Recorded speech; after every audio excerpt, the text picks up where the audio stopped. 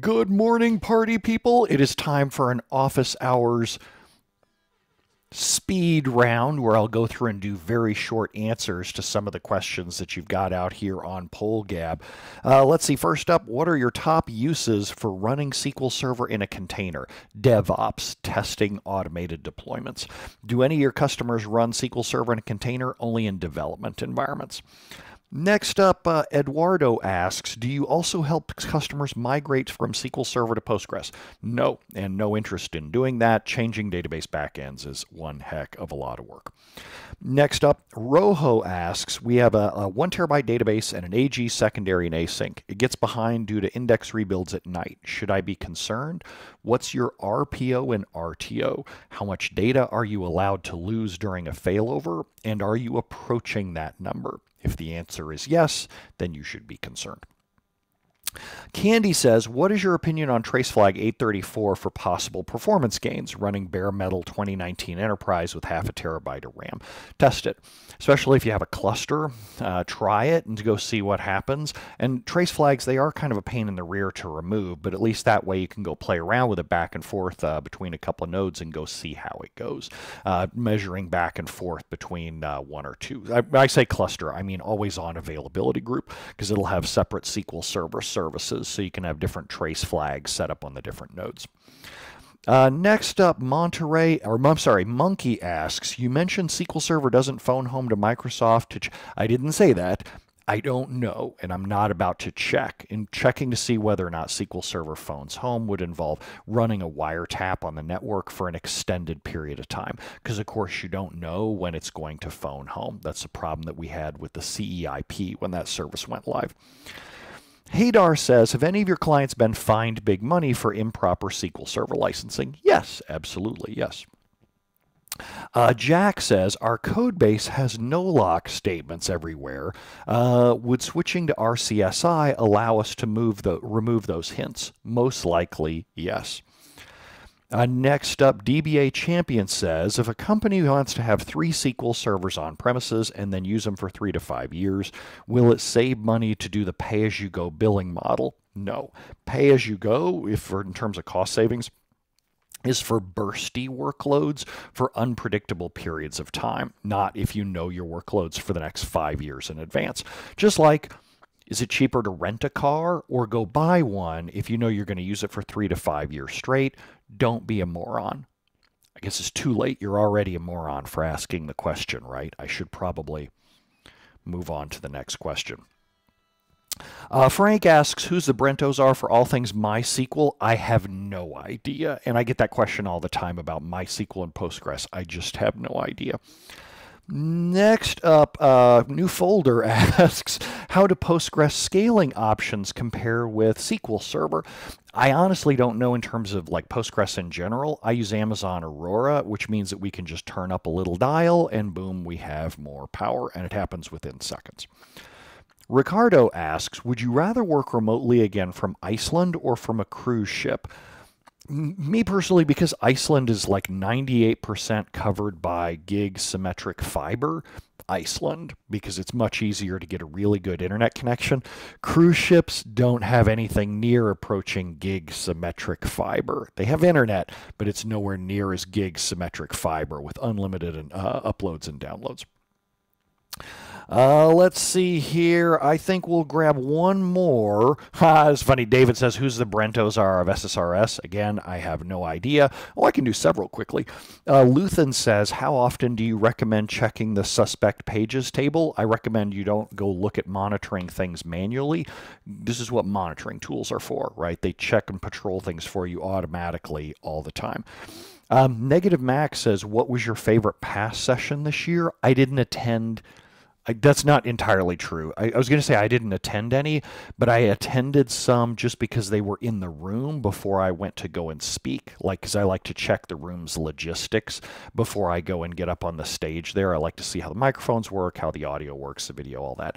So I didn't attend any sessions this year at all. I just exclusively did the hallway track and uh, hugged all kinds of people that I missed. Cyril asks, would you consider teaching an unmastering top SQL anti-patterns course? No, because people pay money when, because remember, I have to get paid, right? I know you think that I do this just for fun, but I, someone has to pay for all the cool stuff that I have.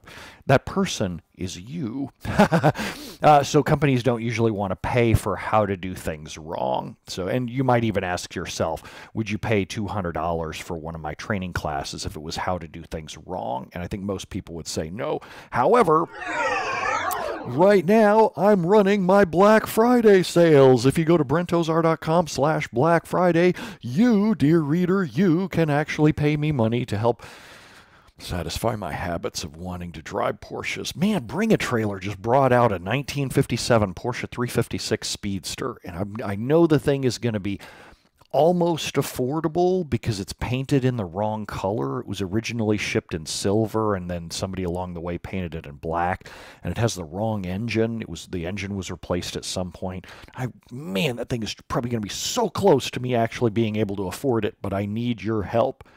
I'm probably not going to do it, but who knows? I get drunk and I buy things. So, uh, brentozar.com slash Black Friday. We have my newest uh, lineup for training classes, including a new lifetime option to buy my fundamentals and mastering classes for life and any new SQL Server fundamentals or mastering classes that I bring out there as well.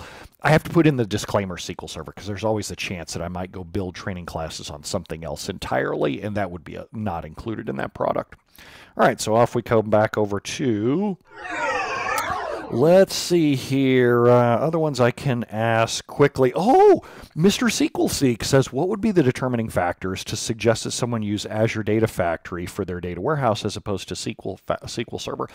Azure Data Factory isn't a uh, backend, so the first thing that you want to do is go search on YouTube for James Serra S E R R A, James Serra Modern Data Warehouse.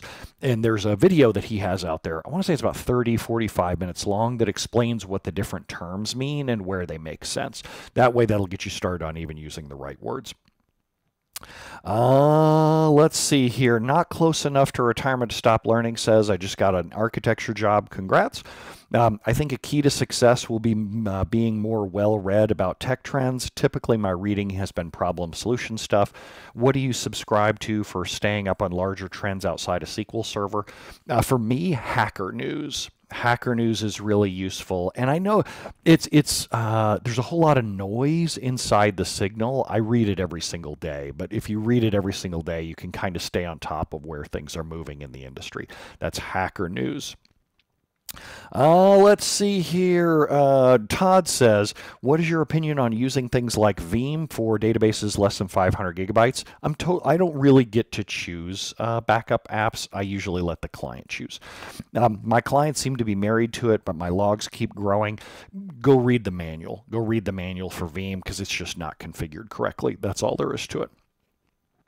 Uh, Dop or Dopinder asks, is DBA a recession-proof tech job? I don't know that anything's recession-proof, but I've been hearing from a lot of talking heads and when I say talking heads, I mean people with, that haven't done real world database administration in a decade or more. They're just standing up on a stage somewhere. They're like, database administration is a dying trend. And I'm like, no, that's just because you stopped doing it. I'm doing pretty well here. Thank you, says the guy who's just talking about buying a Porsche. Another Porsche.